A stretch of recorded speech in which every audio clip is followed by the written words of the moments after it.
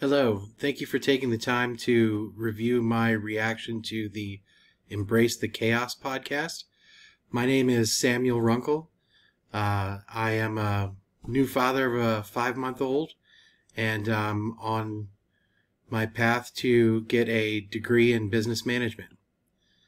Uh, generally, uh, the podcast, uh, the theme of embracing the chaos uh, is something I could really relate to. Um, essentially, I interpret that as when you uh, meet a problem or an issue, it's finding a way to get past it and to continue to achieve your goals.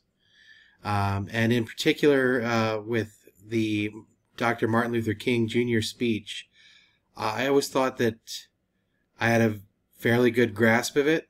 Um, uh, you know, a good understanding of the speech, and uh, you know, I what really surprised me was that uh, to learn that there was a different version of it uh, that was written uh, uh, different from the the speech that was that he gave, and it's crazy to think that you know we almost didn't have the I have a dream uh, it almost didn't happen. Uh, even though from the podcast he had had that talked about that in uh, private settings outside of the speech.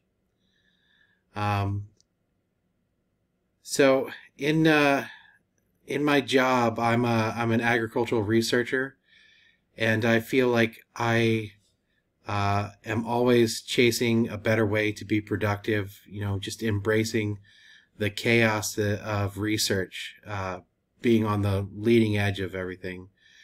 And um, one of the times we had to embrace that chaos uh, to be productive, to overcome a hurdle was uh, we had, so is with soybeans and we have to do all sorts of laborious tasks. Uh, this one in particular was counting the soybeans. Uh, and we had to do that for each plot for something that the scientists wanted. Uh, and at any rate, it was uh, only a few thousand plots that we had to do that on. And then suddenly, one year, our plot load uh, went up to, I think it was 180,000 plots. So a dramatic increase, and we had to do that same task on all those. And uh, and it was it came up kind of suddenly, and uh, we weren't prepared for it. And we came up with a way to get that count by weight, uh, which uh, dramatically increased our performance and productivity. And uh, that 180,000 seemed just like the few thousand that we had done before. Um, so it was, uh, we embraced the problem and we rolled with the punches and we made it through. Um, thank you for taking the time to listen to this and have a great day.